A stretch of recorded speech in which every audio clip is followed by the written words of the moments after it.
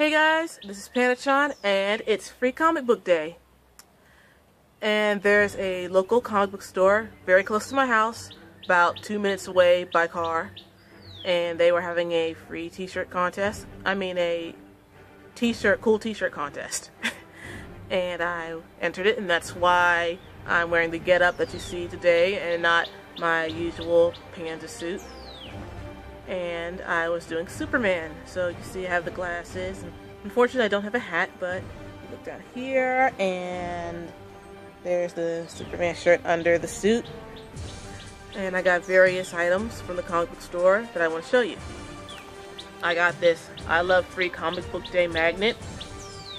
And they have Pokemon manga. So I got the first two volumes of that. I got a bunch of free comic books. So I got Power Rangers and SpongeBob, Hello Kitty. Hopefully you guys can all see this. And The Simpsons. And then the comics actually paid for. I got a Sonic the Hedgehog comic. I got Miss Marvel. And, um, hmm. I don't know what this is.